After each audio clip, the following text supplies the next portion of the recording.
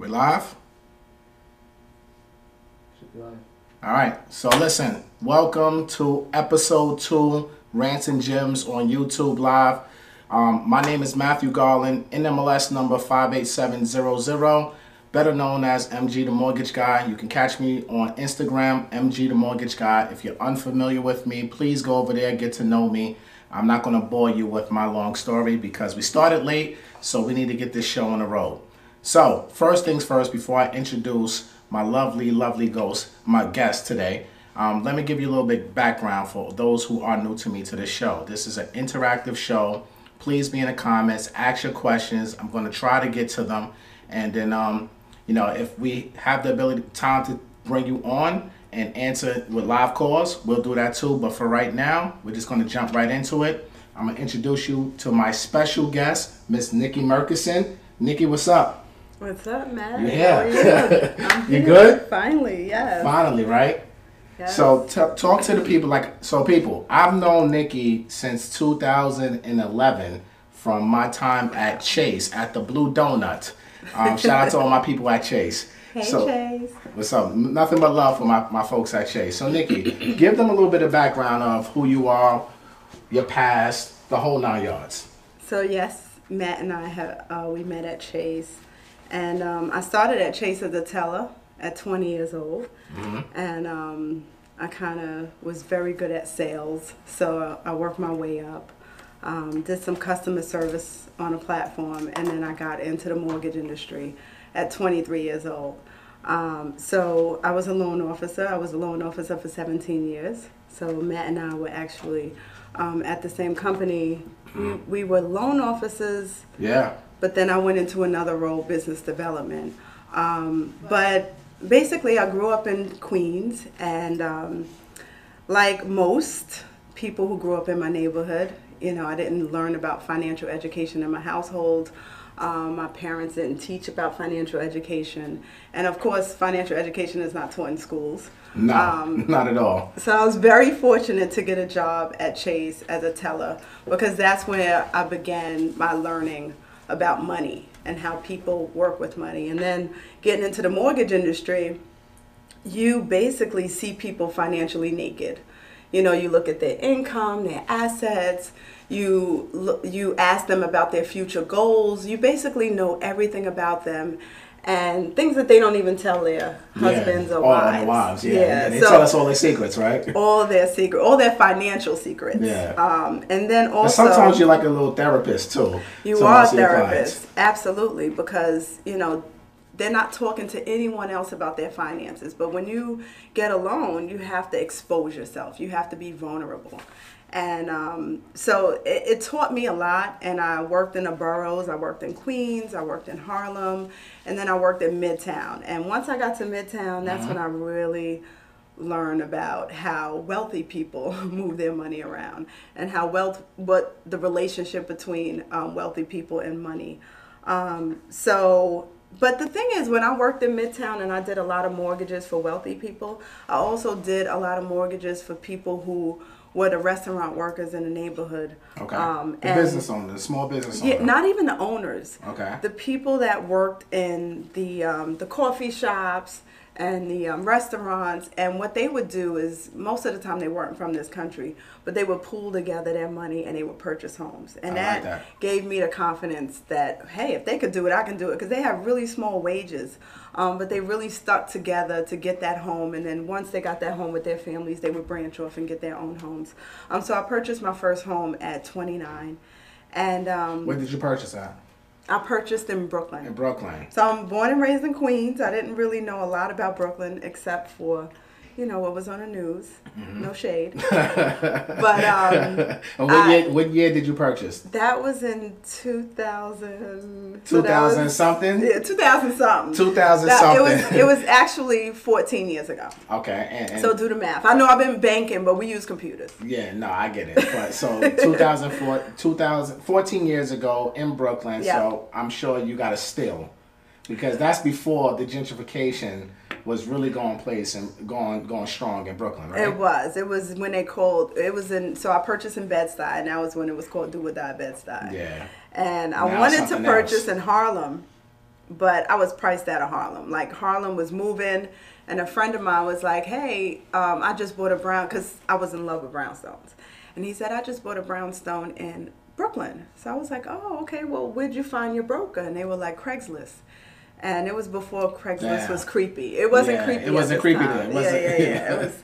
So I, I connected with a broker, and he was like an Israeli Jewish guy, and he was, you know, really pushy. And at first, I thought he was trying to take advantage of me, but he really took me under his wing, and he, you know, toured me around Brooklyn and Bed Stuy, and and talked to me about the changes. But I also did my research, so that was six years before Barclays was built. Okay. Um, so every city has a plan for the neighborhoods in that city. So, So let so let's get into that before we jump fast forward, right? So Yes. I want you to talk a little bit about when you was in business development for Chase, Mm-hmm. right? You focused on um, community development, a lot of analytics, things of that nature. That's your background, right? yes, yeah, and community um, working with nonprofits. Working with the nonprofits. So Mm-hmm. the reason why I, I, I wanted Nikki on the show is because she's a specialist. She's she's a, a, seasoned investor, um, seasoned loan officer, but also doing a lot of business development, nonprofit. So she's out there in the community, shaking hands, kissing babies, doing all that good stuff, right? So now we're going to talk about an area. This spotlight right here is, is about bringing attention to areas to invest, right? So Nikki, she, if you go to her page, tell her people your Instagram.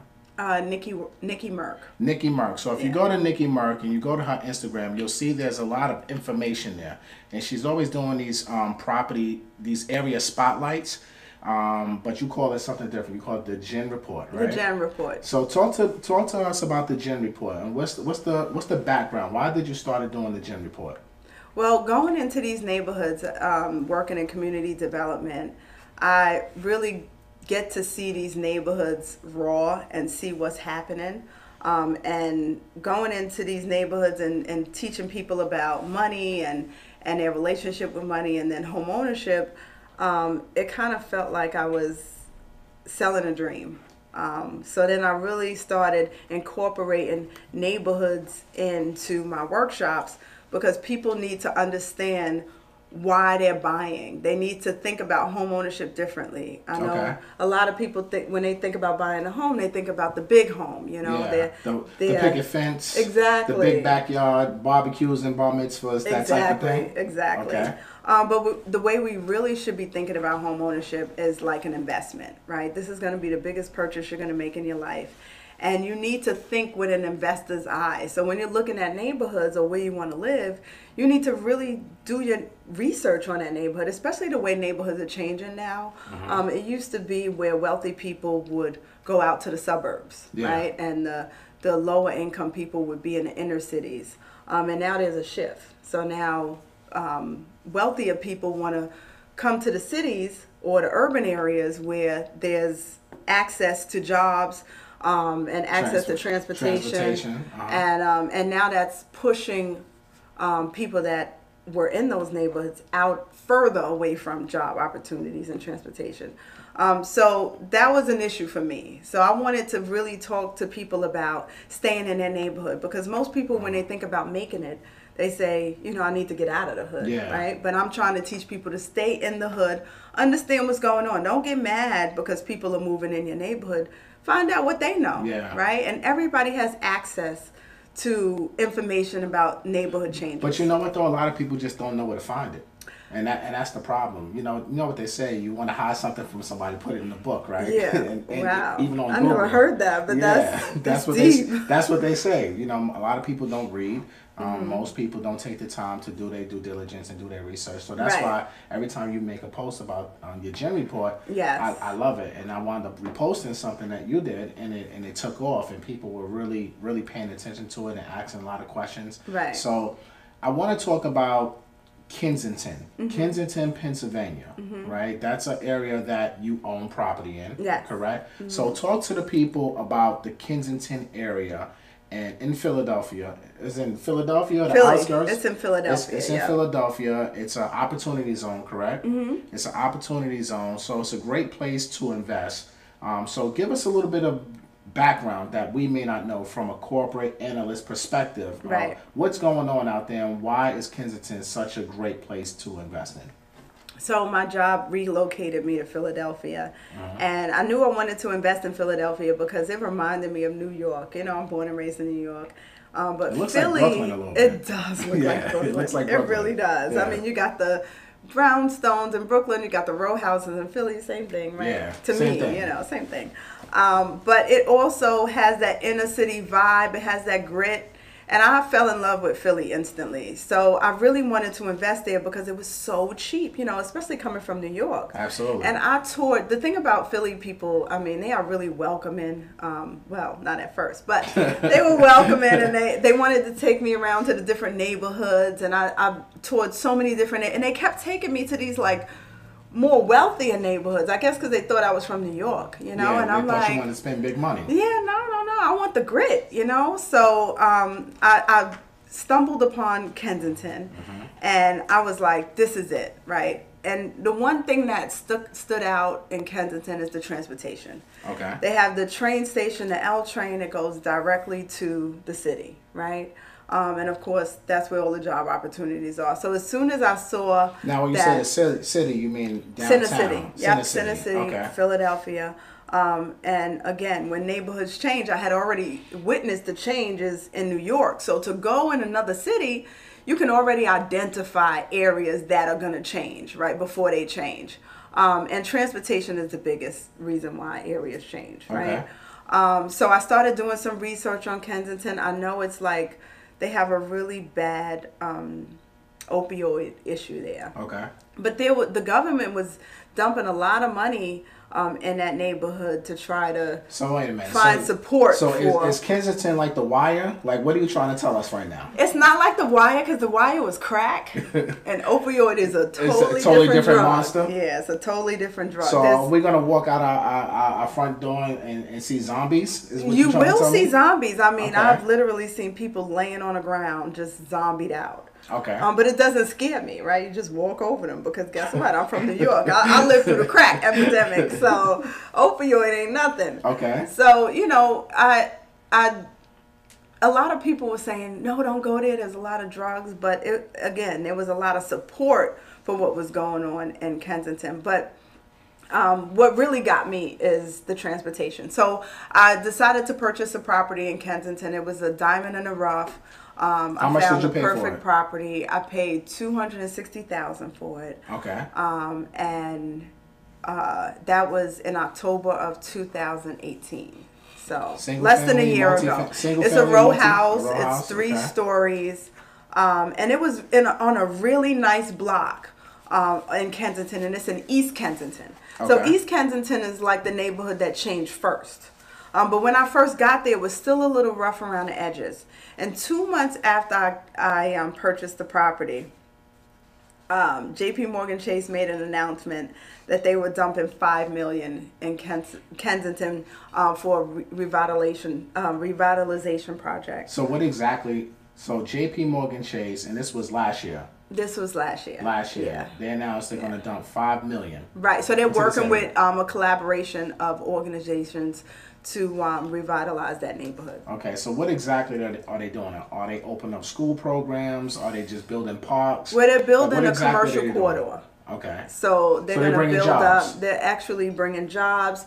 Um, they're helping those nonprofits are helping to support those um, centers for people who are, you know, um, on the drugs and trying to bring them to a safe place. Um, so they're really trying to redevelop that area. So they're cleaning it up. J.P. Morgan is putting five million. Uh, do you know of any other corporations that are, are, are following suit of what J.P. Morgan is doing? Well, I mean, J.P. Morgan's a leader. You know, it's only a matter of time. And they have they, other they have a big expansion going on in, in the entire Philadelphia area. So let me right? just yeah, let me mention that they expanded into different cities, and Philadelphia is one of the cities. Um, but also they know something. Well, they've know been something. doing their research, right? Yeah. All if you if you take a look around across the country, all urban areas are um, gentrifying. You look at what's happening in New York. You look at what's happening in Detroit. You look at what's happening in D.C. Right? Philadelphia is right on that Amtrak line. So you got New York, you got New Jersey, you got Philadelphia, you got Delaware, you got D.C., and you got Baltimore. So if you look across, you know that um, that Amtrak line, then you'll see these cities Okay. changing and these urban areas changing. Um, but also, they, they collaborated with um, a couple of nonprofit organizations that are already in that community. And, um, and they're really trying to help people in that community invest in that community. There's a program called Jumpstart, Okay. and Jumpstart And it's actually only for Philadelphia, Jumpstart? it's only for Philadelphia residents, but it's really to encourage those residents to invest in their neighborhoods. So they put you through a training program. It's a three-day um, training program where they really teach you about investing in property and everything you need to know about property. Um, and it, and at the end of the program, once you graduate, you get connected with a loan program where they'll actually lend you the money to purchase a property, do some renovations, and really buy and hold. wow. Yeah, and Kensington is a buy and hold area. I mean, you really don't want to go in there to do flips. Now, I mean, you can because when I purchased that property in October, um, a couple of weeks ago, I went back to the house and three doors down, there's two properties for sale for 480, Damn. and that's less than six months. That And I'm, So- that's not to say it's going to sell for 480, but that's a big jump That's from a- 260 to 480 that's a in less crazy than six that's, months. that's a crazy jump. Cha-ching. that is a crazy jump, Yeah. right? Why? So why is that house now worth 480 in this area? Because you just said, listen, there's zombies outside. Yep. J.P. Morgan just committed five million, Yeah, and they're cleaning it up. and they're, they're cleaning it up. There's a huge drug problem in this area. Yeah. But they're cleaning everything up, which is a great thing. How the hell did it go up 200k Well, in six months? developers are there. You know, once those developers get, if you look, if you go to Kensington now and you drive around, all you see is development project. All you see is coffee shops and restaurants. Um, right now, I, where I purchased the house is two blocks away from Frankford, and Frankford is just a restaurant row, right? So um, there's another neighborhood that's right next door that already gentrified, right? So what happens when neighborhoods change? They get outpriced out of one neighborhood, and then they go into the the neighboring um, community, and then you know it, it all takes off from there. And again, all of these neighborhoods are right next to the transportation, which is the L train going to downtown. Damn, that's an interesting, um, interesting story. It's 260. I just can't get that out of my head. I know, I I'm just keep just- thinking like, damn, 260 to four something. I think I'm getting good at this, but my goal is to teach other people to look at home ownership different because you know everything else is changing but home ownership. When I get married and have a kid, I'll have a home or you get that big house with the white picket fence. But people really need to think about it like an investment. And you know, I so after 23 years of working um, in banking, I was able to quit my job. Right, I was Okay. able to quit my job um, to really turn my home ownership purchases or my portfolio into a business. All right, so let's So- mm-hmm. talk about that. So let's we're gonna get back to Kensington in a minute. So let's talk about the traditional Mm-hmm. home ownership, like the, the the the big backyard, the white fence versus the non-traditional. Right. Right. So let's go into that for a little bit.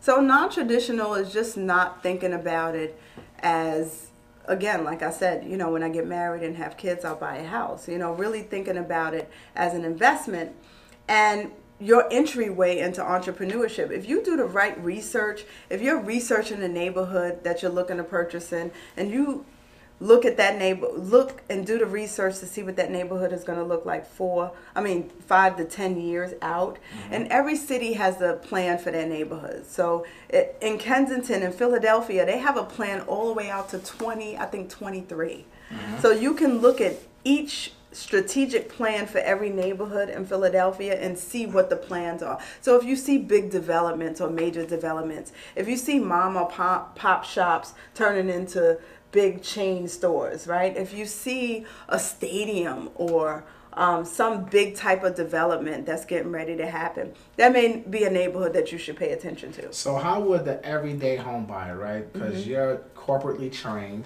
um, you're savvy, you're smart, you're Mm-hmm. an investor, right? Like, so how would the everyday, you know, 23 year old who doesn't know a damn thing about real estate, Mm-hmm. how to find things, like, how would they go ahead and research, you know, the the future plans of, of a particular city? Like, do you have any websites or anything? So you can go to the planning department. So New York City, you can go to New York City Planning Department, and you can mm-hmm. see what neighborhoods in New York City because I know it's you know, a lot of neighborhoods are changing, uh, but there's still opportunity. But you can go to the Philadelphia planning What, what should they What should they look for? Just Like, Google Philadelphia Planning Department. Google New York Planning Department. When you go on the website, it's going to show you, it'll say the strategic plan for every neighborhood. So you'll see every neighborhood there. You'll see Kensington. You'll see other neighborhoods like Germantown. Um, and you'll see all of the plans for those neighborhoods. You click on the plan, and then it'll basically tell you all the projects um, that they're planning. I would also say go to community board meetings. So if there's a neighborhood that you're interested in, attend their community board meetings because oftentimes when developers want to come into that neighborhood, they have to go before the community board um, to to get the buy-in from the community. So, So, how, do, how does the everyday person find these community meetings? Like, uh, is there like a did just Google it? I was about to say? Google's your best friend. I mean, you can Google any question and uh, you can plug it in and it'll bring up the information. So if you're saying, "Hey, I want to purchase in Kensington," you're gonna Google um, Kensington, Philadelphia, right? And then you'll you'll Google Kensington, Philadelphia community board and it'll tell you the different community boards and just attend the meetings and see what's going on in that community and that'll give you um, some insight on some of the projects that they're working on So the first time home buyer needs to start thinking like the investor. They have to. Start really mapping out. See the t- tradi- Now let's talk about the traditional, right? Mm-hmm. And I try to tell people this all the time. Most people come to me without having a team in place. Right. Like, oh, I want to buy a house and I want to get a rehab property and I want to do a two or three K loan. All this grand shit, right? Mm-hmm. Yeah, yeah. And I'm like, okay, I that do sounds short great. sales. I want to do short sales. I want to go to the auction. I want to go to the courthouse, right? Yeah. And I'm like, okay, you have a contractor. No, what's a contractor? Mm-hmm. Right. Right.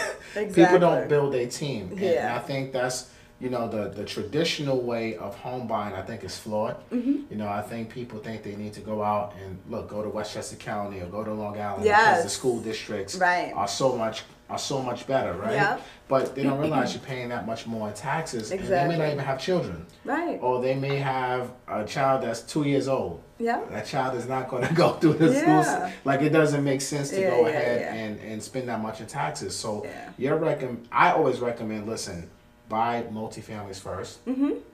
Um, get rental income, build that passive income, and buy in distressed areas Mm-hmm. because.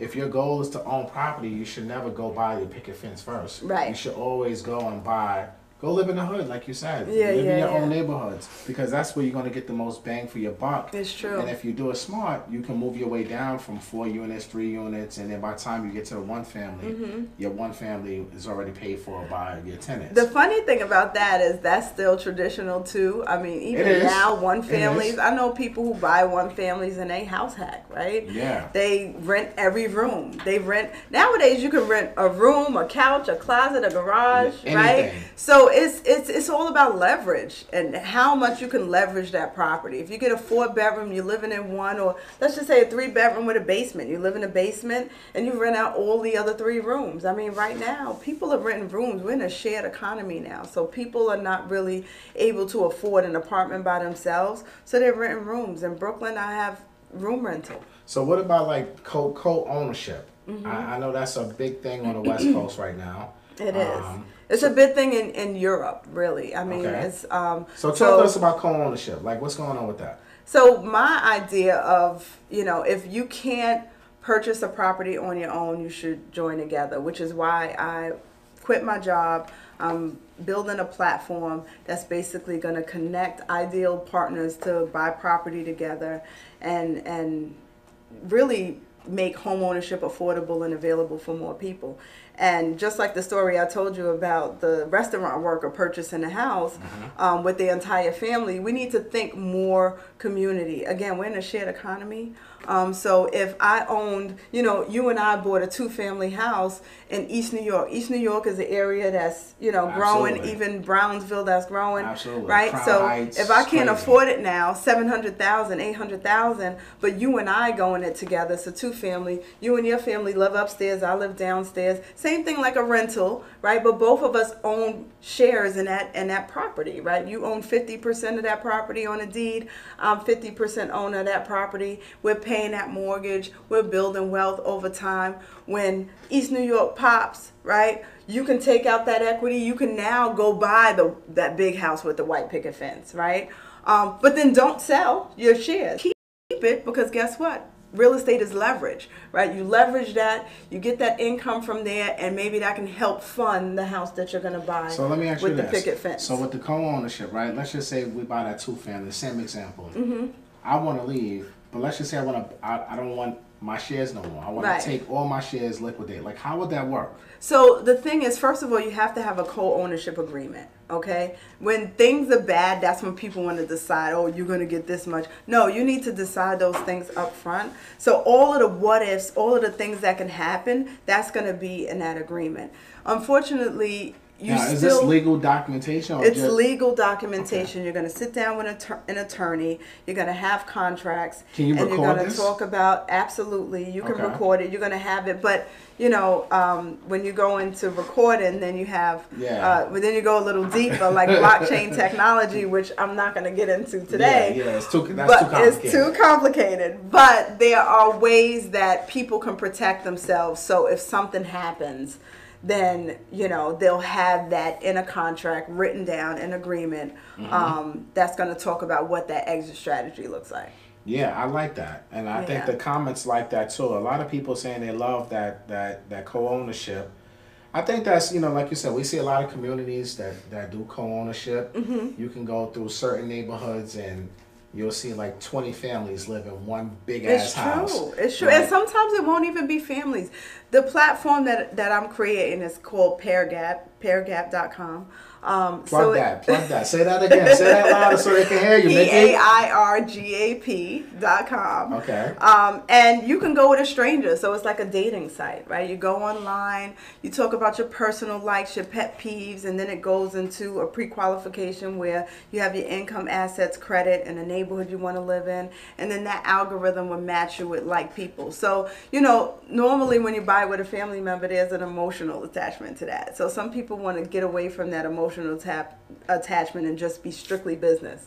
And then people have angst about that. They're like, oh, well, I don't want to, you know, I don't want to have to manage somebody else or tenants or things like that. But then they go to work every day, right? Yeah. And then they work for somebody else and deal with that headache, right? But this is your own business. You're running it like a business. So you have to really think more of an investment, entrepreneurship. Um, and if you can't buy on your own, then you need to be able to join together with someone else to still get a piece of it because if you don't if you wait until you can accumulate the funds to purchase then you may be priced out Yeah, especially here. it may be York. too late It may be too yeah, late. you gotta hurry up Interest rates may go up. Prices are going up. New I York is just like so fucking crazy, man. With these prices, I, I see these deals come across my desk. I'm like, yo, this is just crazy. I know, it's ridiculous. And, people just can't afford it. They can't. So I think the co-ownership thing that's coming from Europe. I know they're doing it out on the West Coast. Yes. I mean, I think that's going to be probably the new wave. In the it coming will years, be. because people need to come together. Yep. And, and buy property together. I tell people all the time, if you got twenty thousand, you got a friend,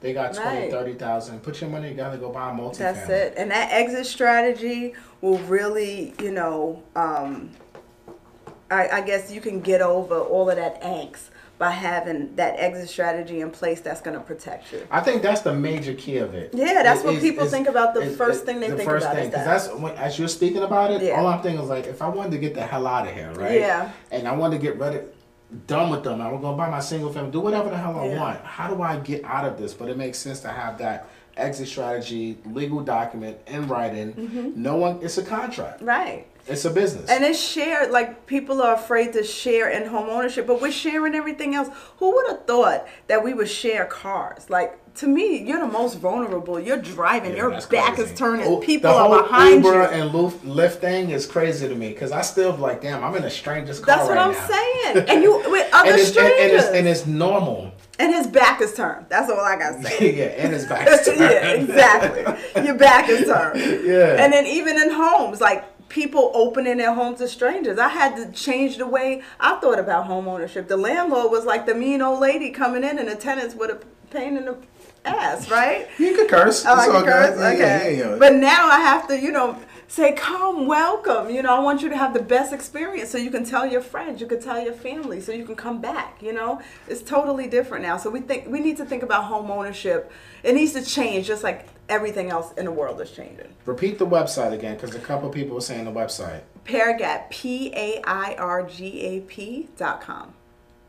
And I'm also gonna, um, so in the next couple of weeks, I'll also be releasing my report on pairgap.com. So different neighborhoods I'll highlight every month. So you'll be able to go on the website, join a community. The entire website is all about education, everything you need to know about home ownership. Um, and, and you can get that gen report there. Listen, I'm super excited about the Gen report. I love the Gen report. I read it every time you post it. Good. You guys need to go ahead and, and follow her. Make sure you're, you're tuning into the Gen report. I posted it uh, like two weeks ago, I believe it was. It was about the, the purple line and, and, and the DMV. Oh yeah, check that Um, one out. That wasn't me. That was all Nikki. I just copy and pasted what she posted and, and put it out there. And you Yeah. guys were all in the comments. You was engaged. I mean, I love your reporting. So Thank you. Talk, tell us one final word about Kensington. Let's wrap up the Gen report segment Yep. with, with Nikki Merk. All right. Tell us Kensington. Why should we invest in there? You should invest in Kensington because that area is exploding and you need to hurry up. So now East Kensington is a little pricey now. I told you it went up to 480. Um, if you go across the bridge, and I don't know if that if that's the west side, but you you'll know if if you're familiar with Philly, um, across the train tracks um, is the other side of Kensington, and Okay. that area is I don't like the way that sounds. Across the train tracks. well, uh, uh, if you're investing early and you're buy and hold and and you're really in it for the long haul, um, you are gonna have to go through some neighborhood changes, right? So you then you have to decide: Am I buying and am, am I gonna live there and live through the changes, um, or am I just gonna buy and just hold on to it? So, um, but if you buy there and hold on to it, you'll definitely be in a good place within the next five years. I guarantee that. I like that. I like Yeah. that. So listen, tell them how to find you again. So Nikki Merk, N I K K I M E R K on Instagram, and Pair Gap is P A I R G A P dot com. All right, so we got a couple questions. So De- Delandra, she wants to know what other areas of Philly are, are up and coming. So I've been paying attention to West Philly, Southwest Philly, right? Specifically Southwest Philly.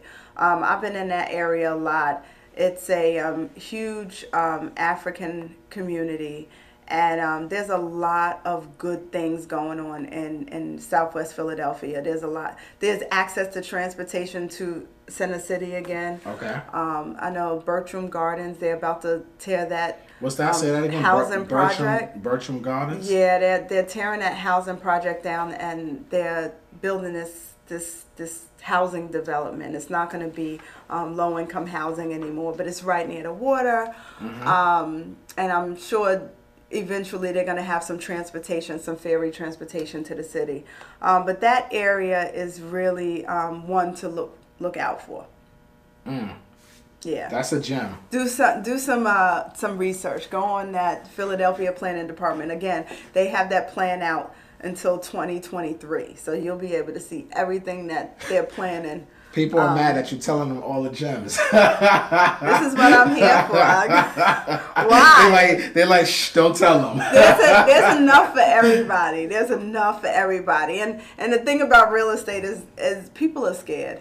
You know, you can give them the information all day, but only only the people that are not afraid to. to Yeah, you know that's why I tell people all the time. It doesn't matter what you tell people. Doesn't matter. You can sit here and, and go on the top of the building and have like the loudest horn ever and yell to people what to do, and they still won't do it. They still won't do it. Ninety percent of the people won't execute. Yeah, and it's all good. It's, it's fear, and we just have to get over that. And every investment, there's a risk, so you got to be willing to take the risk. What about the Frankford area? Frankford area, Mm-hmm. I mean, Kensington, I know Frankford Avenue. Okay. Um, so it's gonna spill over to that area, but it's gonna take some time. Um, so you can buy something there now, but again, you need to identify how far away it is from that transportation. So anything around that L train, you're gonna be good. You know, walking distance from the L train. But once you get further out, where you'll have to drive, um, then you know you it may not turn over as quickly as something that's close to transportation. so I'm glad you said transportation, Mm-hmm. right? That just thought brought me back to an earlier thought I had. What about the folks that live and work in New York, Mm-hmm. right? But are completely priced out. They want to move to Philly. but That's still- two hours. But they still want to commute back to New York. I know Mm-hmm. there's a lot of trains that go back and forth between Philly and New York. Is would you recommend somebody moving there as a primary residence. To, to I would own? say primary resident. I mean, I, I mean, there's job opportunities in Philadelphia. I, I wouldn't work in New York and and commute And to commute? Philadelphia. you I just- would I would look at the opportunities in Philadelphia. It's a great city. It's great people. Like I just I, honestly, that's my second home, and I never thought I would get out. of it. I'm a true New Yorker, but Philly is Philly is Philly yeah. is it. Philly is it. Philly is it. Yeah, there's a Yeah. lot. There's a lot. There's a lot of Philly. jawns in Philly. There's a lot of jawns in Philly. that's a Philly word. that's my Philly lingo. Yeah, you've been in Philly for a long, for a while now. I, I like Philly though. yeah, know. nah, Philly is good, man. Like I said, when I go out to Philly, it reminds me of um, Brooklyn.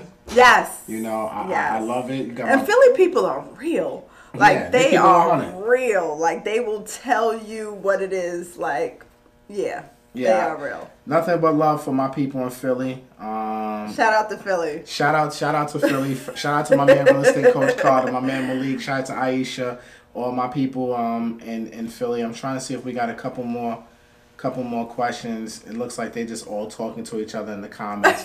So listen, I don't want. I know we got we're running on time right here. We ran a little bit late. So you got any final parting words for the audience? Tell them what's coming next for you. How to find you again because we need to make sure that people who are gonna watch this a month from now Yeah. know where to find you. So, any parting words?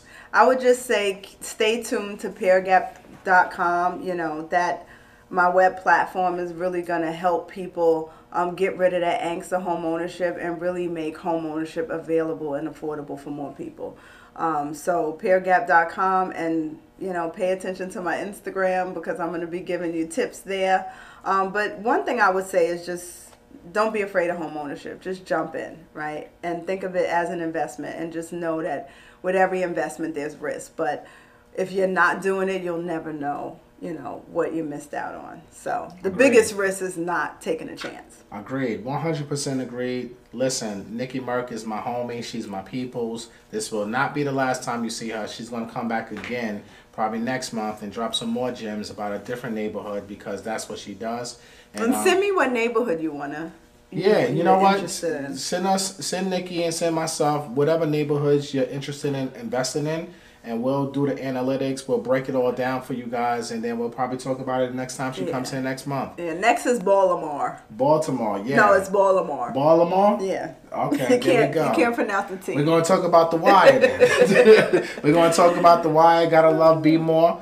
Um, shout out to all my people in Maryland, Baltimore area. So everybody, give it up to Nikki Merk. Make sure you go follow her, and um, you already know what it is. Thank right? you. All right, Matt. It's good seeing you. My oh, I, don't give dap. I give I know, mugs. I know, like, I know, but I gotta give you dap on camera too. all right. Good seeing you, Nick. Thank you. All right, guys. So that was. You can go through. Fuck it. Walk through. No, no, just walk through. It don't matter. This is live and it's raw, so it don't even matter, right? That was good. Lots of gems. Lots of gems, Nikki. Thank you. No, lots of gems. All right. So we're gonna go to part two of this conversation. Okay. Baltimore. yeah, they they talking about Baltimore. yeah, Baltimore's gonna be lit. All right. So let's go on to part two. You about to bounce, or you or you hanging out? Oh, hang out. Pour, pour up a cup and have another have another pour up a cup, right? All right. So let's go to let's go to part two. I'm going to bring on. I'm not much of this bringing on and long introductions. Nadira, why don't you come on on? Welcome to the Rants and Gems. So y'all give it up for Nadira. We're just walking across. Just walk across because we're going to keep it real right. funky and real raw here. What's up, Nadira? What's up, Matt? How are Hi, you? everybody. All right, so don't pay attention to I'm this. trying not right? to. so this is just for me to. Are they throwing the gems in the comments? Yes, I like that. All right, so Nadira, Yes. I've known Nadira since junior high school. So we reconnected recently at a closing. Yes, we did. It wasn't my closing. my girl Crystal Young, the attorney on that closing, it was right down the hall from me, Mm-hmm. and she came and said, "Matt, you need to meet Nadira." I said, "Crystal, I'm busy. I got things to do." she said, "No, I'm telling you, you need to meet her." And then I come in there, and then you said, "I know you," Exactly. and I said, "You know me?" She said, "Yeah, we went to junior high school." I remember everybody. I said, "How the hell you remember that?" I'm the one that everyone texts. Mhm. They sneak pictures of people, and say, "Who is this?" Let me know their name before they come over here. Wow. That's me. That's you. That's me. So once you told me who you was, and I had to do some own back end research, I'm like, oh shit, I do know her. I'm like, that's crazy. And you're a broker. So as we reconnected and we got to speaking, you told me you were closing a lot of deals with NACA.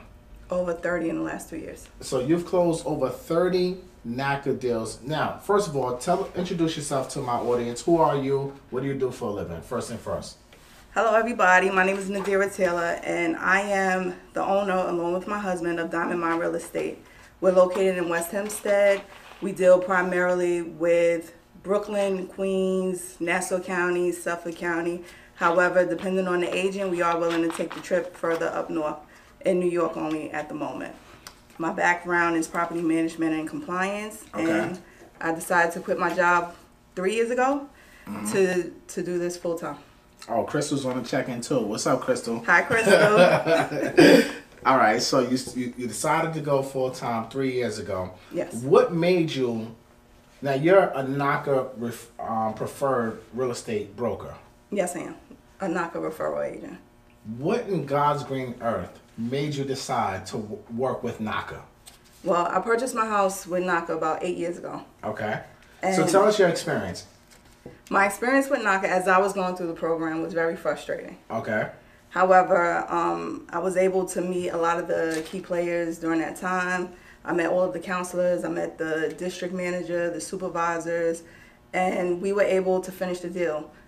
My time was frustrating only because I kind of pulled the cart before the horse. Okay. I started looking for a house before I was approved. The same things that I tell people not to do, and it gets on my nerves when they And when they you do was it. doing it. That's that's so you it- was your own worst client. I was my own worst client. Shit happens. Exactly. But it's not until you purchase your house with NACA and you're living next door to people that are paying three thousand, four thousand. And about eight years ago, that's also when they were doing double mortgages. Yeah. And people were 20s. yeah, and people were getting into mortgages that they couldn't afford that they were losing six months after they purchased the home. Is where NACA became the best thing since sliced bread. Okay. And since then, I've had them at my church either monthly, bi-monthly, just doing seminars over the last eight years to bring more people into the program. That's awesome. So now, when you purchased your home with NACA, you said it was it was painful, right? Yes, but it was. there was a rainbow. Definitely. That rainbow was your interest rate, My interest rate was 1.6. one point six percent. Yes. No PMI, No PMI. thirty year fix. 30 year fixed. Jeez. I've actually been successful with someone who purchased about six weeks ago. Uh-huh. They bought their interest rate all the way down to 0.2%. 0.2. That sounds crazy. But it, it's real. All right, so let's get let's get to the because I get a I get like a thousand questions a week about this NACA program, ahead, right? shoot. And I tell people all the time, listen, I hear good and bad things. The good things, like you just said, the interest rate. The bad things is the pain, right? So Mm-hmm. That's why I wanted. I'm so happy we're reconnecting. You told me your experience with NACA because I really want someone who's an expert and and you've been through it your own and Mm-hmm. you're helping so many people go through the process and. For as many people you've helped, there's a lot of people you haven't helped that went through the process as well. So it's probably triple the amount of people that you helped through the process. So you're an expert.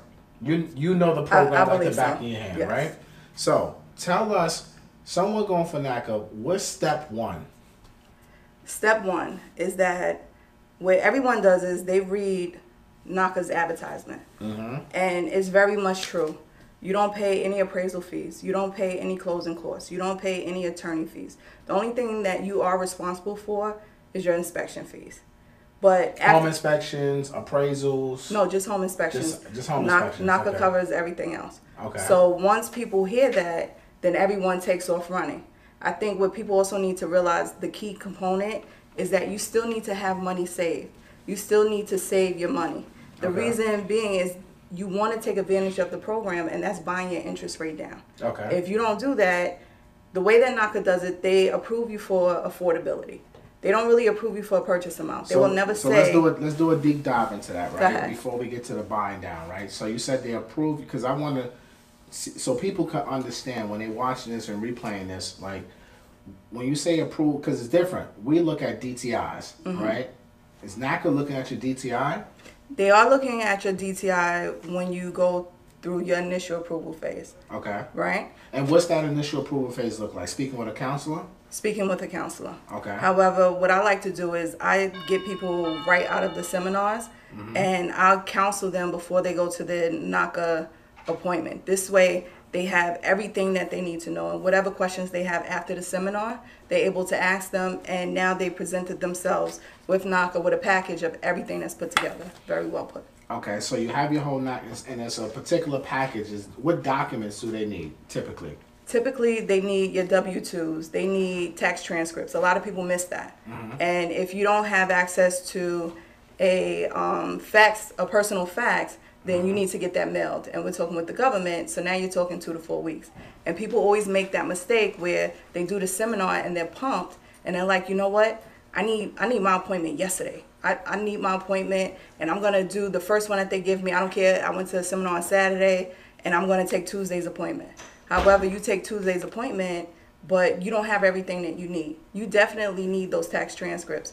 You know, we come from an era where everyone gets over. Yeah, So your W, everyone gets over. you know, so your W twos will say that you made a hundred and fifty thousand. However, once you went in and you amended them, you really only made thirty thousand after you do all of your deductions and So everything. else. NACA's looking at everything. They're looking at all your expenses, even if you're a W two employee. Right. Well, Matt, you have to realize that NACA started to help people against predatory lending for the people who had double mortgages or mortgages that they couldn't afford. So they make sure that you dot all your I's and cross all your T's.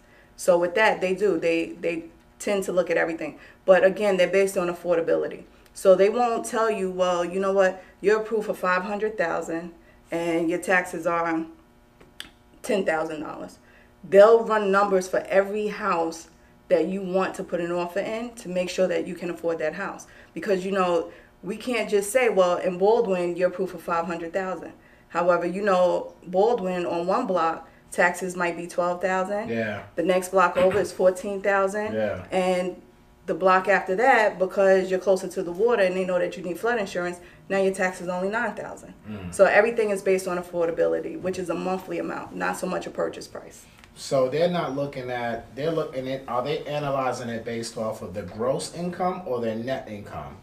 They're they're basing it off of the gross. However, if you're a city employee, a lot of city employees they put their uniforms in their budget. Yeah. You know, they put a lot of things in their budget, and it may hurt you in the end Yeah. because this is still going according to your debt to income ratio. They want to make sure that you're able to purchase your house, afford your house, and still live comfortably, and not struggling. That's good. That's good. That's how we all should analyze loans when we're doing loans. Because then there's a big difference between being eligible for a loan and being able to afford a loan. But in the life of social media, Yeah. everybody wants the home and they want all the nice things. Absolutely. And if I struggle, I struggle as long as it looks nice when I post my pictures. Agreed. And NACA's not into that. NACA doesn't give a damn about that. Nah. No, no, no, No, one no, so, no social media. fighting over here. yeah, I mean, and, and it shouldn't be. It's all about what you can get approved for. So it's good. They're doing their due diligence, right? Right.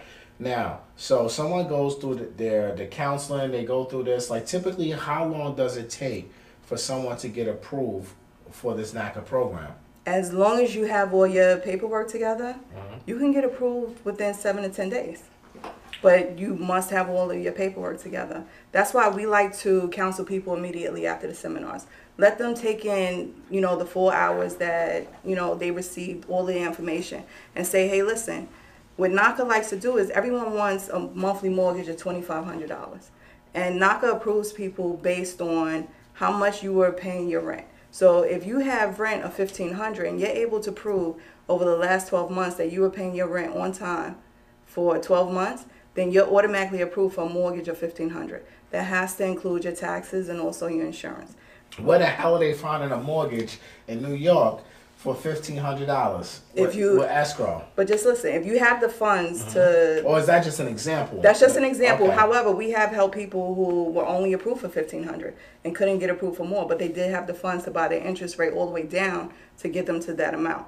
But just using fifteen hundred as the example, and you know that your salary calls for you to pay twenty five hundred and you can handle it, you need to show them that you are able to save a thousand dollars a month on top of your fifteen hundred rent, on top of your car note, on top of you doing whatever it is that you have to do for your children, all of your day to day duties and they want to see that bank statement growing a thousand dollars every month before they say, you know what, we're going to approve her for twenty five hundred. Wow. So they're looking at your savings. So they're looking at your rent, your current rental payment, Correct. As long as you rent is one thing NACA does not play with. and they want it to a management company. They want it from a management company. If you're paying your So if you rent from me and I don't have a management company, And you're paying me cash? cash, check, quick pay, whatever. But it's, I'm not a management company. I'm just a regular person. so so let me so let me tell you how to get through that. okay, If that's a lot like strategy. a lot of landlords only want you to do cash. Correct. You know, you have to live somewhere. You can't get around that. So what I suggest you do, if your rent is fifteen hundred dollars a month, and you know that when you take out the fifteen hundred dollars a month for your rent, however, you also need hundred dollars to give to your child for senior trip, and you also need two hundred dollars for groceries. Do not take out the 1,800 together. Take out the 1,500, and then you take out the 300 separately. So that this way you're showing, okay, on the fifth of every month, I'm taking fifteen hundred dollars out and I'm giving that to my landlord. And the same thing with Cash App, Zelle, or whatever the case is. If you're doing Cash App, make sure that you Cash App the same person, you Zelle the same person, so that this way you're showing over the last pattern. yes over the last twelve months, this is what I did. If you're paying John Doe, Jane Doe, you go to your bank. What they'll do is they'll print out last twelve months of all the checks paid to, to Jane Doe. correct. So NACA document, document, document. Yes. They don't, they don't want to hear you're living for free with your parents. If you're living for free with your parents and you want a two thousand dollar a month mortgage, then you need to start saving two thousand dollars a month, and you need to do that for a year. So either or. So Correct. either if you're living at home, if you want three thousand dollars a month, show that you're able to save three thousand dollars a month, or you're paying currently rent and saving a combination of the two. Right. Correct. Correct. And they need to document it for twelve months. So someone looking in 2019 that's hearing this information, and if they haven't been doing what you're suggesting, then they probably will get declined by NACA. yes, one thing you can gonna accept letters for almost everything, but they don't play with the rent, and we have to again go back to how it originated. And that was to stop people or protect people against predatory lending. Okay. So now that we know this information and we have it, we can't be as mad when they make sure that we dot all our I's and cross all of our T's. Okay, definitely can't be mad at that. Listen, they're trying to protect and make sure you can afford the house and not foreclose. So I mean, I, I, commend them for that. And as long as your credit score is a 620 and above, then you automatically start off at the national interest rate. Today, the national interest rate is 3.5. So national, they comparing that to FHA. Correct. So the national FHA rate, three and a half percent, Mm-hmm. is using that same three and a half percent, right? As Right. as their starting rate, as long as you can document your rent, Mm-hmm. along with your document your income, your, your bank statements, all that good stuff. If you Exactly. Meet, you meet that documentation, you have a six twenty score, you can you qualify for whatever the national rate is that day. That's what that's what you qualify That's for. That's what you qualify for. Now, is this 100% financing? Do you have to pay a down payment? Do you have to pay closing costs? How does that work? It is 100% financing.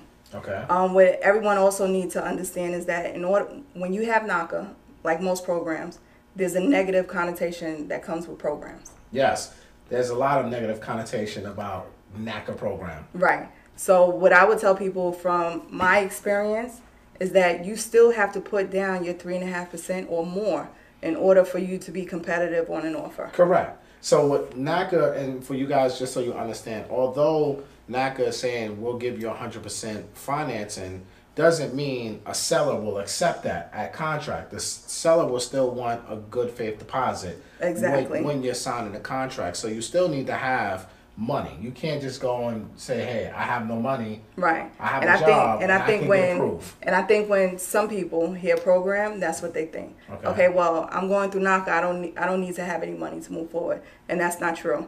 And again, we're living in New York.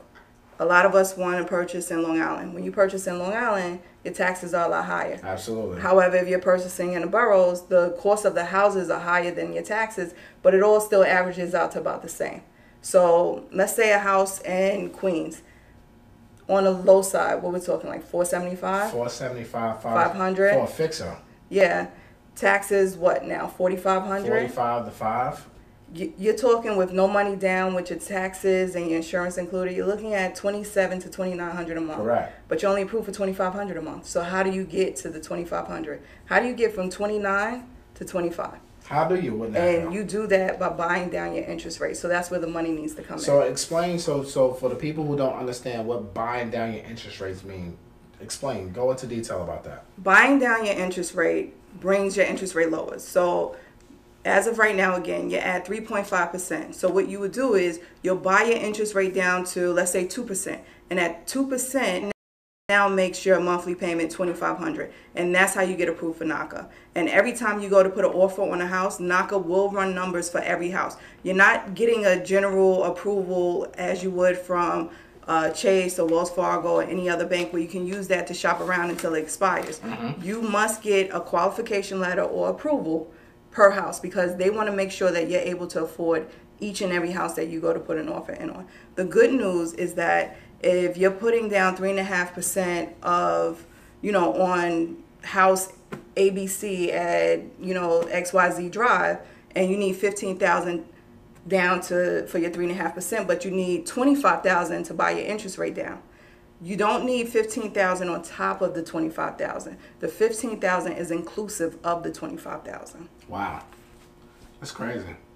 It is. That's why I say. I mean, it works. I I explain NACA maybe hundred times a week, Yeah. and like I said, I, I come from big corporations like Rose Associates, Thor Equities, mm-hmm. and I've been in you know director of compliance. I've been in positions to where I have the president's ear, and when I get to talking about NACA or whatever the case is. They all say the same thing. No, there has to be a balloon payment somewhere. Yeah. Let me let me see your HUD statements. Let me do this. And I've had people comb through it you know and it it works i mean it's it's just like anything else. With nothing in life is free. I know nothing was given to me. Everything that i have i had to work hard for it.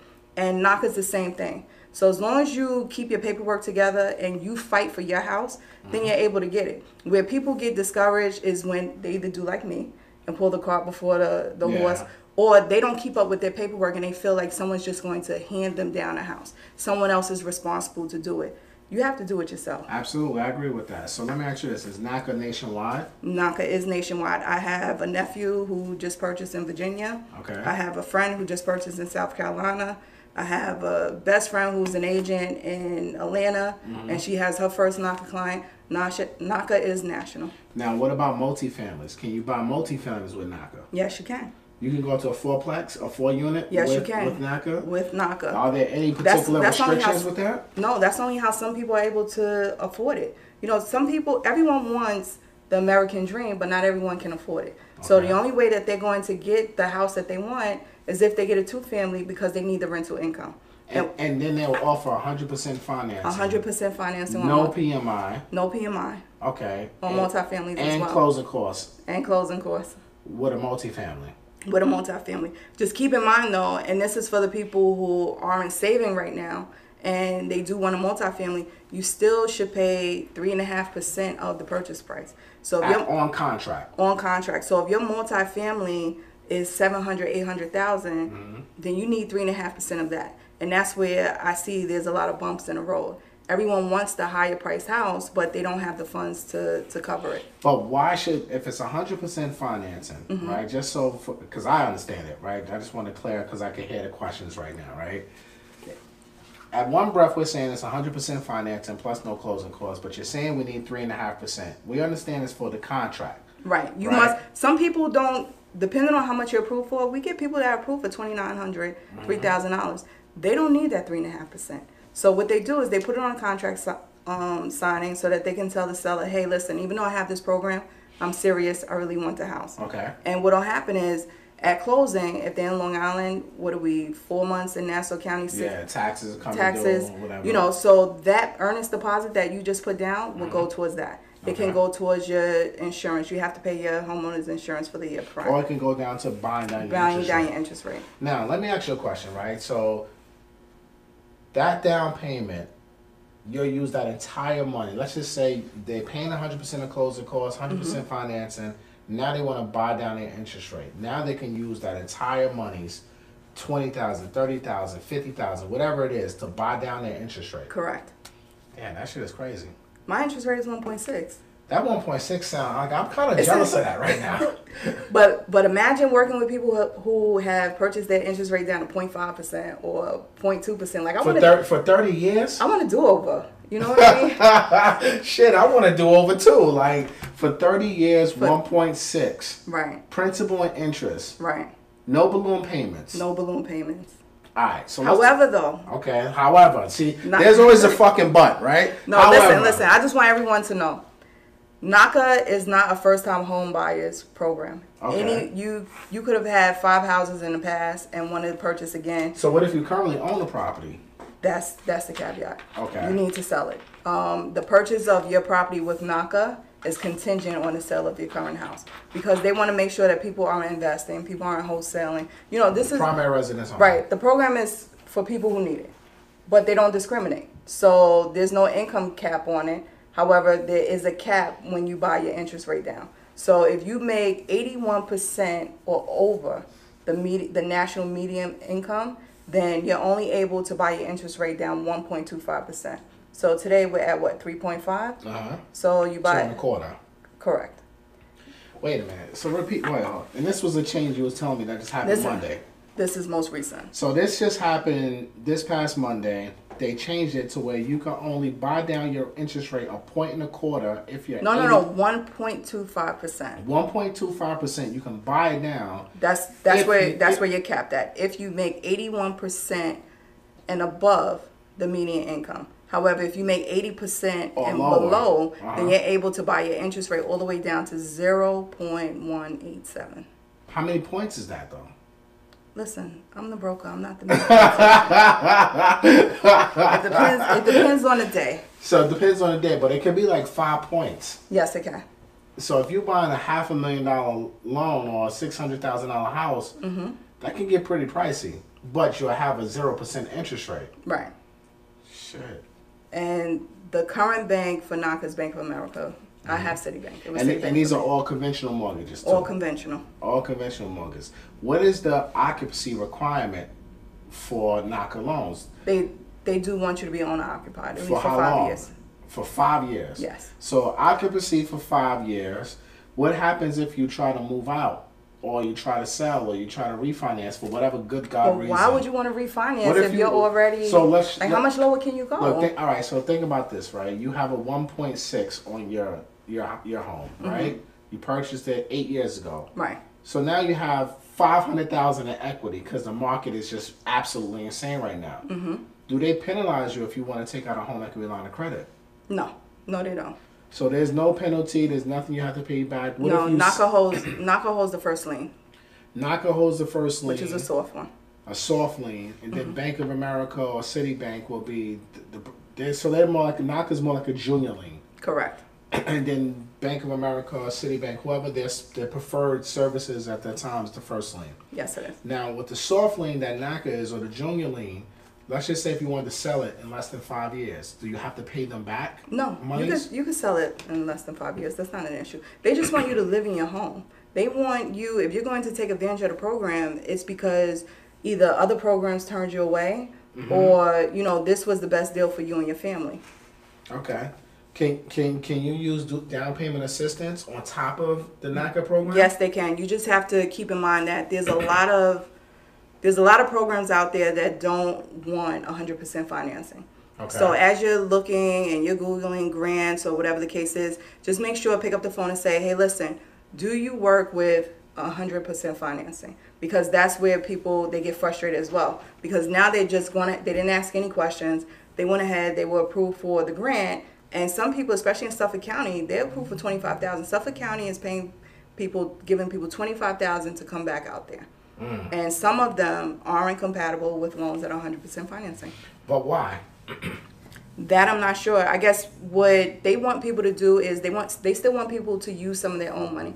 They, I guess they're trying to do the the checks and balance that NACA is doing to make sure that you have funds to buy your you know your own rate. But we also get some sellers who or brokers or sellers attorneys that say, "Hey, listen, we're not comfortable with 100% financing." You know what? I'm glad you brought that up because from what I see just in my career, Mm-hmm. right?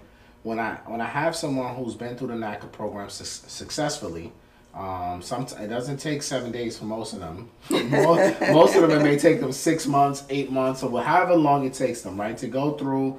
They they get approved. They go through all of that, that pain. Yes. Now they go out to the marketplace, which the marketplace doesn't give a goddamn about NACA, HPD, SONYMA, none of At these all. programs, right? Sellers want their money, period point That's blank. They want the best offer.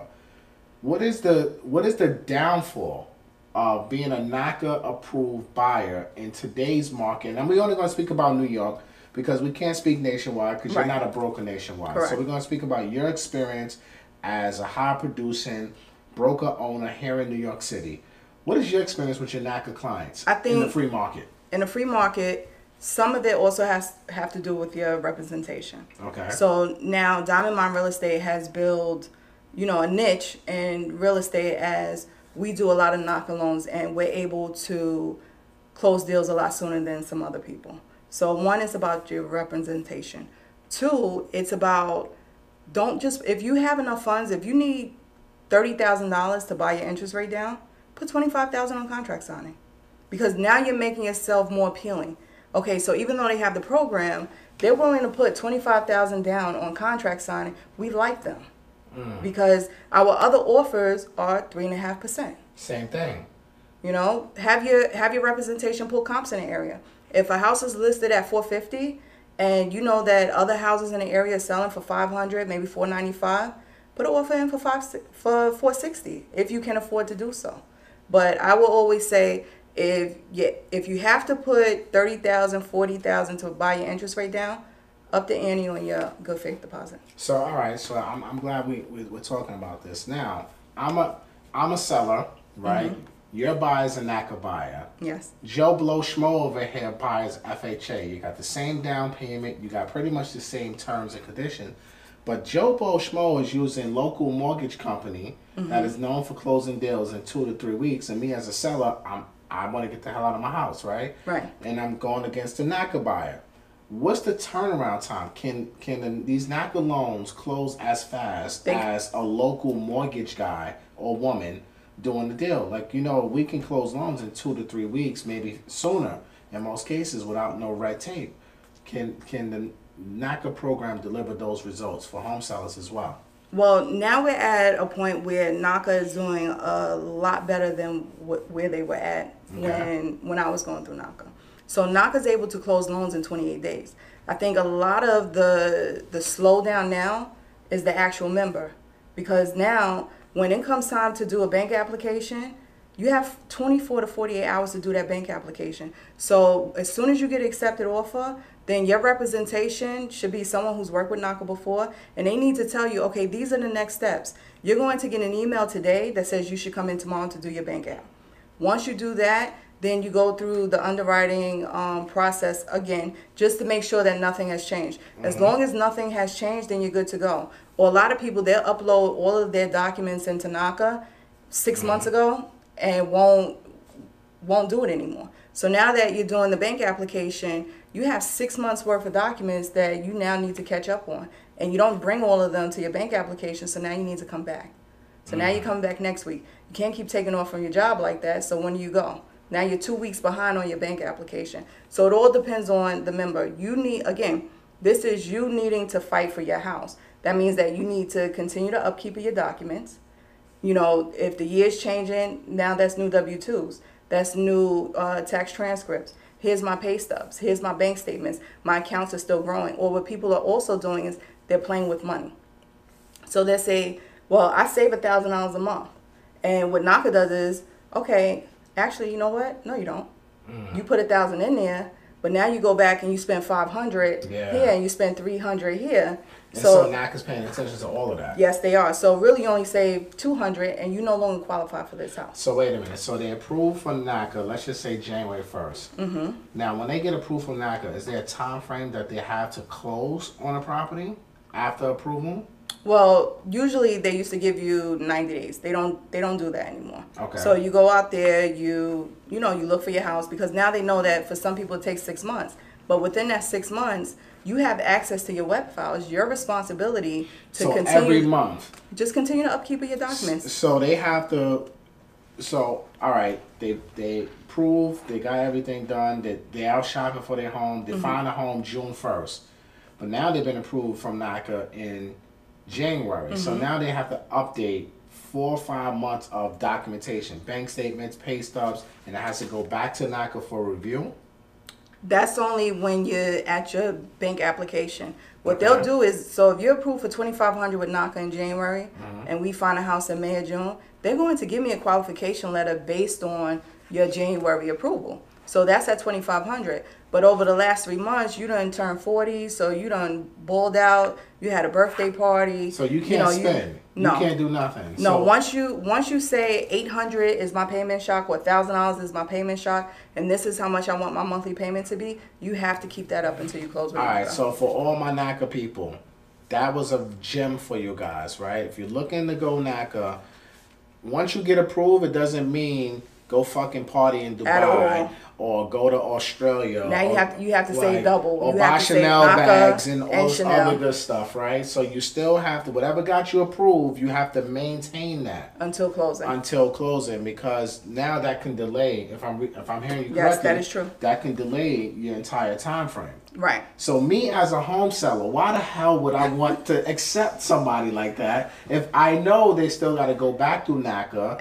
And so if I if you show me your approval You letter want, from you want an honest you want an honest yeah, answer? keep it one hundred. An honest answer. The reason why I think you should choose NACA Mm-hmm. over someone else. And I'm not saying the people that you give loans No. to, but let's just say Even if it was the people, But let's just say to. someone else. What they tend to do is their approval is based on the information that was given to them. Most people do approvals like water. You don't know who done took someone else's approval, changed the name, and did everything else. Yeah. With NACA, NACA is running numbers before they give you a qualification letter or in the real world an approval letter. They run the numbers. Now this is underwriting.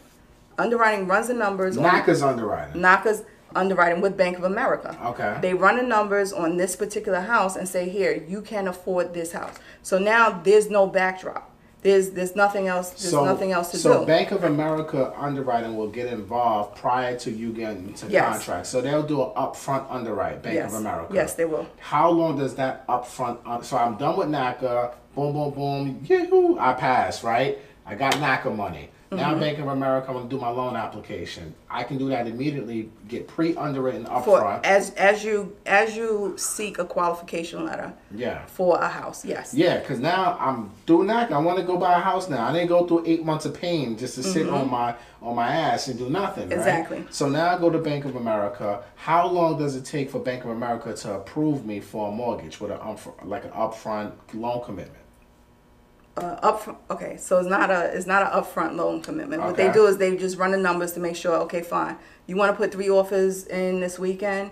You only qualify for two of the houses at the amount that So you Bank of want America to. want to know the homes. yes, they do. So that's part of the NACA requirement that they can't make an offer unless that Bank of America NACA certified loan Correct. officer reviews one two three Main Street, four five six Larry Street, so forth, so forth, and says this this works, this works, this doesn't work, and then you as the broker, you can only take them to the two that works and not the third one. Correct. And again, this is based on representation. So in our office, we make sure that everyone mm-hmm. continues with the upkeep of their files. So as a seller, you would feel more comfortable because we've already gone through the underwriting process. So mm-hmm. now we're able to close on loans just as quick as anyone else. And we don't find, like, we see it all the time while we're looking on MLS. Back on the market, couldn't obtain financing. Back on the market, you know, this happened, that happened. Yeah. And that's because pre approvals are, are given out like water. Yeah, And people are sharing- pre-approvals are garbage. Yeah, and people are sharing them. So the seller really doesn't know like What's what's real and what's what's fake. what. I mean, you can say, okay, I have a pre-approved from this bank that's been known in the neighborhood to be, and you never even step foot in the bank. You got it from your cousin, Yeah. And you wanted the house, so you put an offer in, and then with a wish and a prayer, you hoping that your documents and your information that you're now submitting to the bank will get you through. Whereas with NACA, they've already checked everything, and you qualify for this house. So now, all right. So we we understand that. Mm-hmm. Now we have an accepted offer. Yes, right? We beat out the FHA person, yes. Right? Congratulations. Congratulations. What is my next step as a NACA buyer? What am I doing from that point on? From that point on, Once I have that accepted offer, we we know doing an inspection. Mm-hmm. We know we're doing home inspection now. You know, not from that perspective of home inspection, signed contract, but now. Do we go back to Bank of America loan officer? Is it the same process? Like, what happens? Do we have to go back to NACA for anything? Yes, yes, you do. So after countersigned contracts are uploaded, NACA will call you to their office to do your actual sign papers, sign your actual bank application. And that's not with Bank of America. That's with NACA. That's what NACA certified Bank of America. America loan officer. Correct. Okay. Once you do that, within what? Anywhere from three to seven days, just like anything else. Here you have your commitment. But again, you have to stay on top of your paperwork. So Bank of from so basically from once they get that initial approval, everything's handed off to the Bank of America loan officer. They run it like it's a normal loan. Yes. Right. They're doing their normal due diligence. They're using their appraisers, mm-hmm. using their appraisal management companies, communication with you, the attorneys. However that loan officer works their business, that loan Correct. officer works their business. And then you're saying now it could take them twenty eight days at a minimum. 28 days at a minimum. Now, I know that's not happening on every deal. It's it's What- actually happening on a lot. Sometimes it's the sellers now. Okay. You know, because sometimes sellers accept programs thinking that they have time. Okay. You know, I know if I accept this program, you know, it might not close within, you know, 60 to 90 days. So I can do all the things that I need to do, stay in the house, not look for anything, or I have time to now get my commitment over here. Mm-hmm. And sometimes the sellers can't get a commitment. That's like, true. That I've happens had- all the time. Yeah, I've had things, you know, we, we're at a situation now. We're waiting three months now for a seller to get a commitment. Pre-approvals are garbage. My NACA member had her had her commitment in 14 days. so the NACA people are gonna get they're gonna get thoroughly vetted. Yes. Right. They're gonna go through the motions. They're gonna go through whatever pain they gotta go through. They'll be frustrated. They're gonna be frustrated. And when they move into their house and they're like me, Uh-huh. paying less than two thousand dollars a month, next door to people that are paying three thousand and over, They're happy in the pig and slop. you'll be doing cartwheels in front of your house. And I've had NACA seminars at my church monthly, bi-monthly over the last eight years. Mm. Ever since I closed, it was the best thing. My friends, family members, everyone who I can I can think of. Listen, you got people who aren't even thinking about buying houses. Once I close on my house, you got to buy a house. You need to buy a house. You need to buy one now. All right, so let's let me. uh, So let's just say you qualify for four hundred thousand, but you find a property that need works for three hundred thousand. Can you use the other hundred k to rehab? Does NACA do any type of rehab loans? Yes, they do. However, it's not. You have to take into consideration you're not approved for a purchase price, mm-hmm. but you're what you are approved for is a monthly amount. So if your initial monthly amount would be able to afford you a four hundred thousand or four hundred twenty five thousand dollar house, mm-hmm. and now you found one that was three hundred thousand, and instead of you paying twenty seven hundred a month, the three hundred thousand now has you at twenty four hundred a month. You can get enough rehab that will get you from the twenty four hundred to the twenty seven hundred. Really? Yeah. So over. So all right. So let me ask you this now, because we didn't touch into this. What about the self-employed um, buyer? Right? How are they underwriting or looking? Are they looking at the self-employed buyer like any traditional loan? Yes, they are, and that's probably where the tax transcripts come into place. Okay. Because a lot of self-employed buyers manipulate um, Everything. everything. Like you do it to get a car, you do it to get a house. However, you don't want to pay Uncle Sam that much, so then you go back later and you amend it. Mm-hmm. And you know they want to see the tax transcripts. So if you are self-employed and you want the big house, and your self-employment can afford you the big house, guess what? You need to pay Uncle Sam for the next two years. What Uncle Sam is due, so that this way you are approved for enough to where you feel comfortable and what your business can afford you. So let's talk about you know because we, we're running up on time right now. So let's let's let's give the people like a final word. What are your your ultimate dues like? Like if I'm a new buyer, there's someone out here that's gonna watch this tonight, tomorrow, a mm-hmm. month from now, right? And they're looking to get into this NACA program and they don't know where to start. What advice or what can you tell them that will help them go through that that NACA journey pain free? To go to through the NACA journey pain free, I suggest you start saving your money. I suggest you start just take a glance as to what's on the market, what type of house you would like. Try and find an agent that deals with NACA regularly so that they can walk you through the steps so this way you know how much money you need to save. A lot of people, again, they'll take the seminar. Everyone is gun ho. You know, they're fed off of the seminar, and they want that first. They're leaving Right. that seminar with energy, right? And you want that first appointment. However, I've seen people leave NACA only approved for six hundred dollars. Mm. You know, because they didn't give themselves enough time to save where they needed to be. Or I've seen people who didn't know that they needed to have money to buy down their interest rate, and they aren't able to get anything because they are only approved for eighteen hundred or nineteen hundred. You know, those are pretty much good numbers if your 1800 and 1900 comes with 40,000 50,000 in the bank to get you to to that To that buy down. So I think first take a seminar, um, get the ins and outs out, outs of it, find out what it's about, see if this is the program for you, and if this is the program for you, just save your money. Think about how much you pay a month in rent and how much you want to pay a month in mortgage. Everyone wants a fifteen hundred dollar mortgage, and it was doable with NACA. I had mm-hmm. I have friends who were able Cambria Heights, fourteen hundred a month. However, this isn't the market for that. The market is about two thousand and above. Two thousand above. So save your money. Save your money. Just like any home buyer, right? Exactly. Mm-hmm. Everybody thinks things are for free. It's a 100 percent. You don't need no money. No.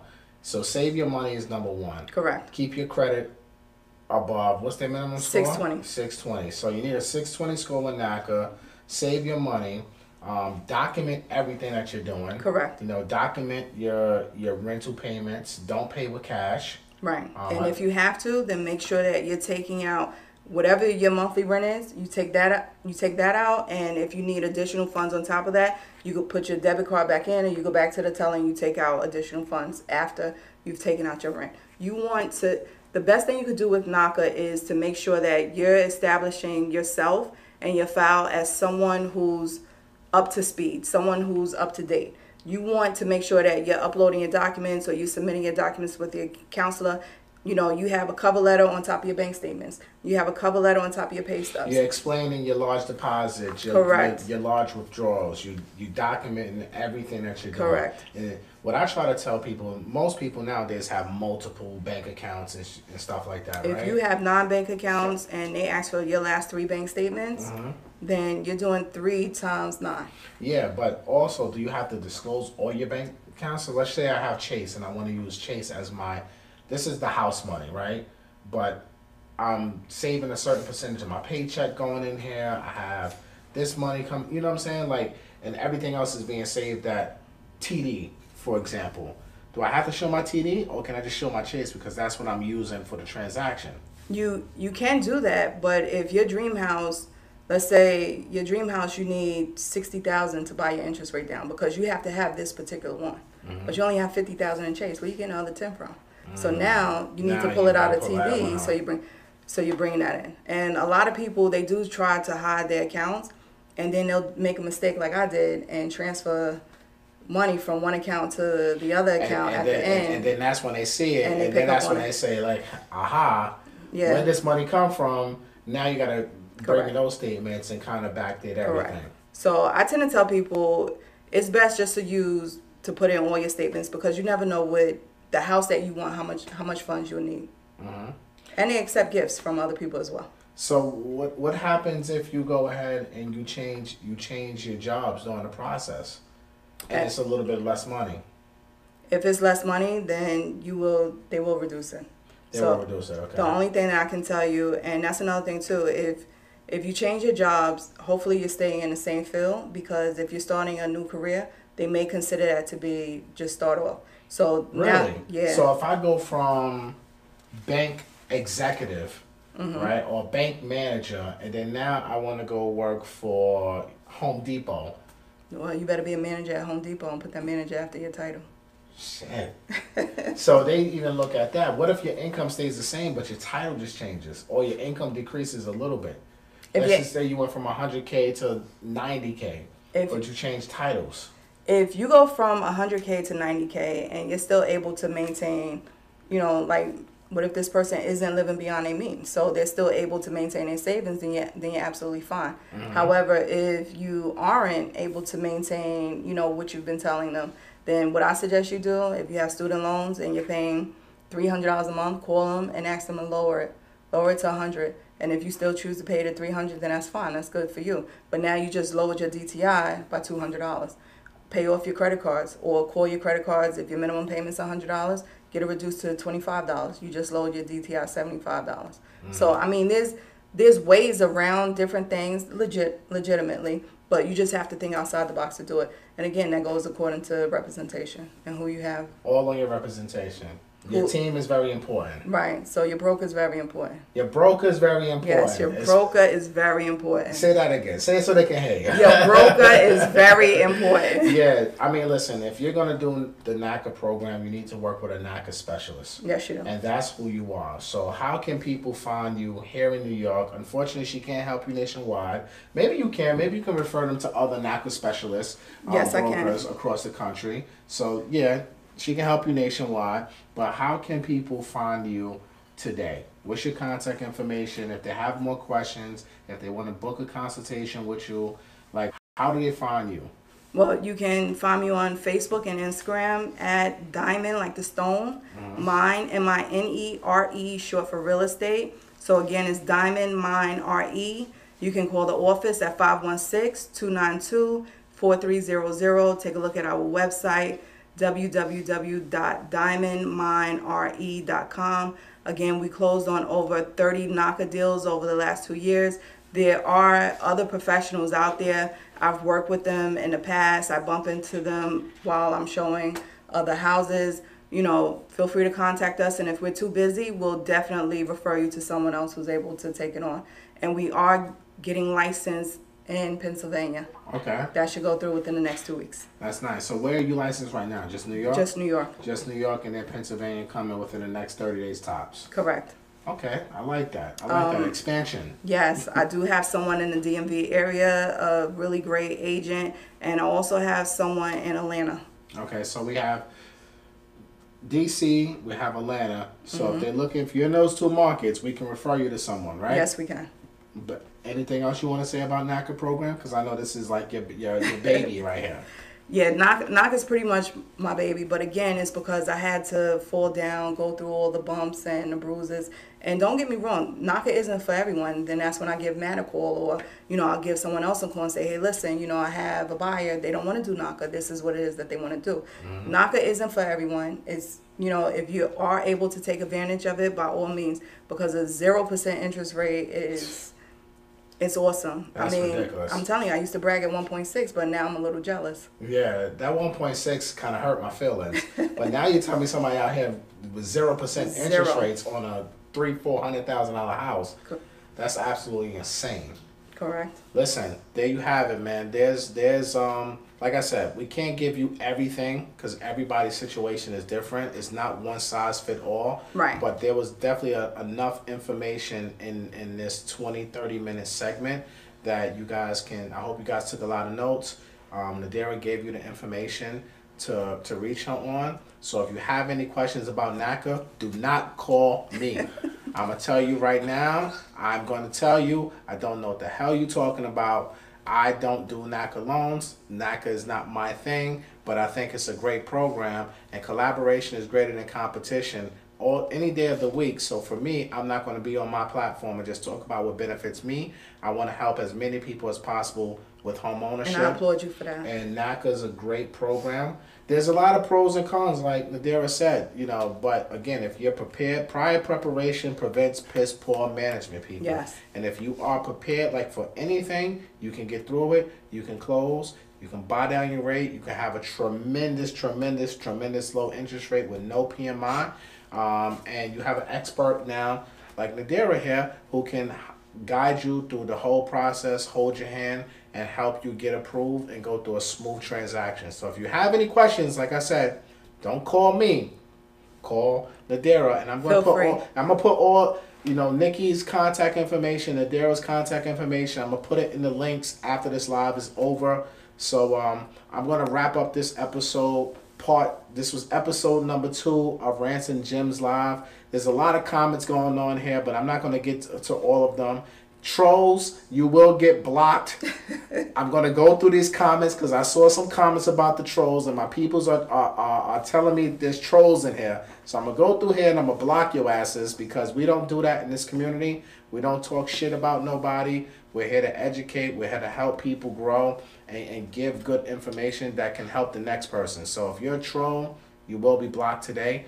But um, you got anything else to say, Nadira, or you good?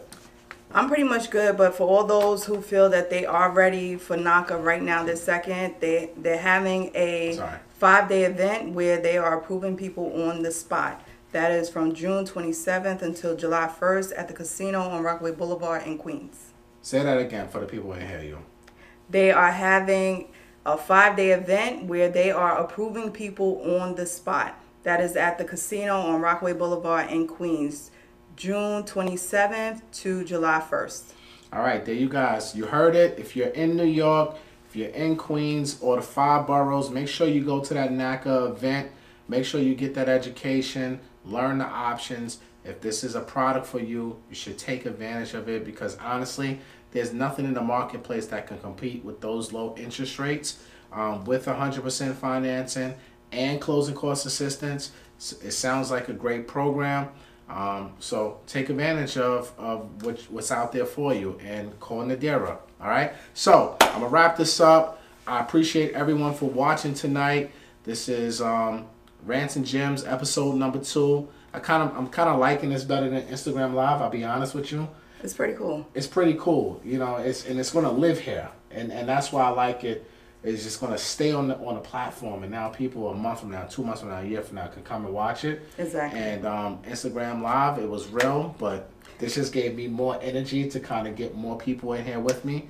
Um, but signing off to next time, Monday night. Join me again, 9 p.m. Monday night, 9 p.m. I don't know what that date is, but Today's June 6th, so you'll figure it out. All right. So until next time, this is Matt Garland, NMLS number 58700, better known as MG the Mortgage Guy. Catch me on uh, Instagram, MG the Mortgage Guy, and um, I'll speak to y'all next time. Peace.